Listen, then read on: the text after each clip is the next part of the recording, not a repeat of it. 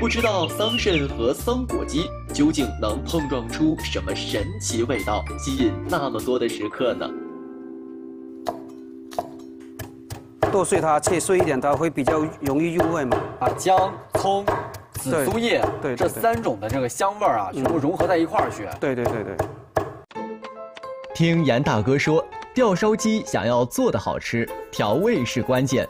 葱姜和紫苏叶剁碎后，涂抹在鸡肉表面，再撒上盐粒去腥提鲜。经过十分钟的按摩入味后，上午采摘的桑葚闪亮登场。不知道它们到底有什么妙用呢？再放几个桑果进去。哦，咱们桑果就是用到这儿了，是不是？对对对。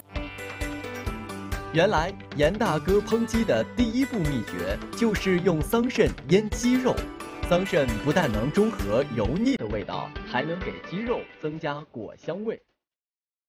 静置一小时后，用热水汆烫两分钟，既能让整鸡膨胀，又起到塑形的效果，还能融化鸡肉的皮下脂肪。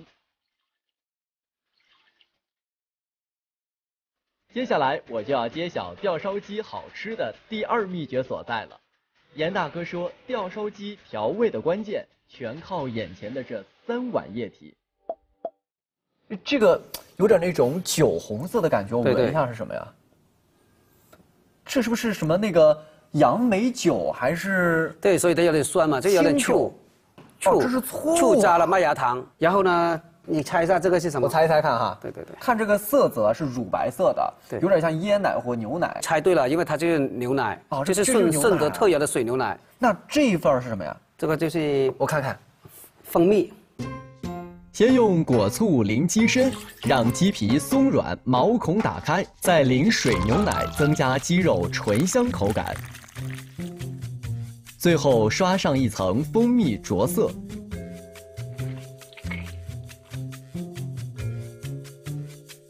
我怎么觉得我现在是个粉刷匠呢？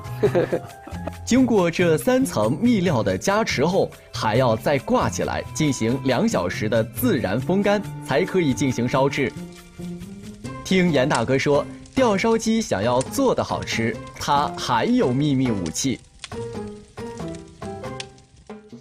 对对这个缸非常像以前我小时候看那个《水浒传》里边那个三碗不过冈的那个酒缸啊。这是我家里小时候那个酒缸，我把啊，它就是您家的小时候就是这个酒缸啊。对对对对，以前叫酒缸后来叫放米了，嗯水果都放进去。哦，就是让就怕那小孩会偷吃。对对，就是怕我其实。啊，怕你偷吃。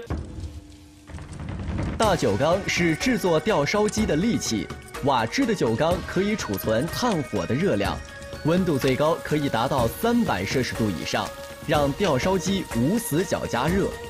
不知道酒缸里烧出来的吊烧鸡味道究竟如何呢？嘎天哪哇这个烧鸡啊，现在已经颜色从这个肉色变成了这个焦黄色，特别特别香金黄。金黄金黄。哎，你看这个造型，多么的霸气，这个样子的。吊烧鸡一出锅，甜香的滋味瞬间爆裂，这味道可把我馋坏了。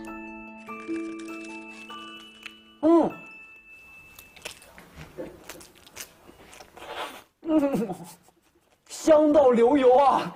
有没有一种初恋的感觉？反正我有，当年吃的时候。特别香啊！